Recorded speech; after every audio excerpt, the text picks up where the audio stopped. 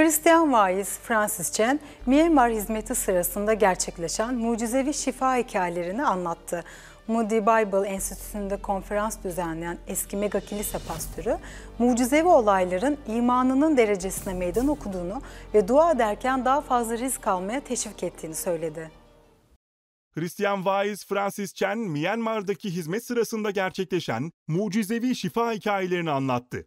Moody Bible Enstitüsü'nde konferans düzenleyen eski mega kilise pastörü, mucizevi olayların imanının derecesine meydan okuduğunu ve dua ederken daha fazla risk almaya teşvik ettiğini söyledi. Chen, insanlar şifa almak için öne çıkmaya başladı. Dokunduğum herkes iyileşti. Bu benim için inanılmaz bir olay. 52 yıldır böyle bir şey yaşamadım dedi.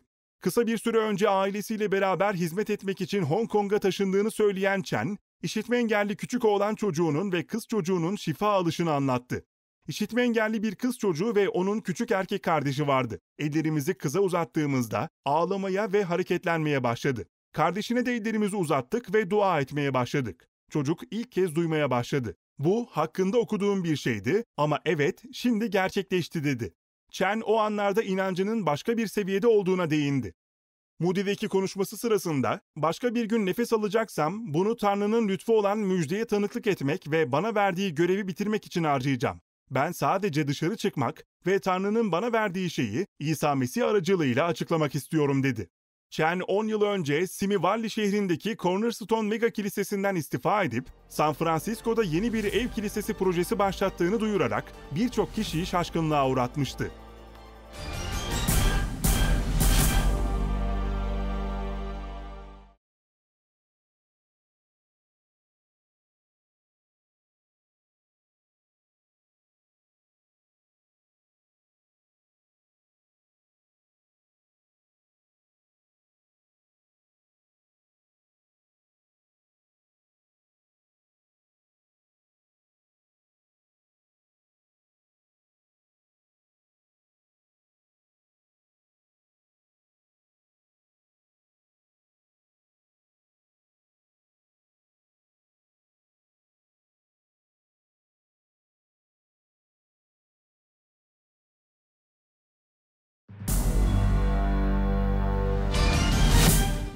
Antakya ve tüm Doğu Patriği Süryani Ortodoks Kilisesi Genel Ruhani Lideri Moran Mor Ignatius II. Afrem, Süryani Kilisesi'nin canlı kültür mirası olan Trabzon'a sahip çıkılması konusunda çağrıda bulundu. Antakya ve tüm Doğu Patriği Süryani Ortodoks Kilisesi Genel Ruhani Lideri Moran Mor Ignatius II. Afrem, Turab dinli Süryanilere atalarının kutsal vatanı ve Süryani Kilisesi'nin canlı kültür mirası olan Turab dine sahip çıkmaları konusunda çağrıda bulundu.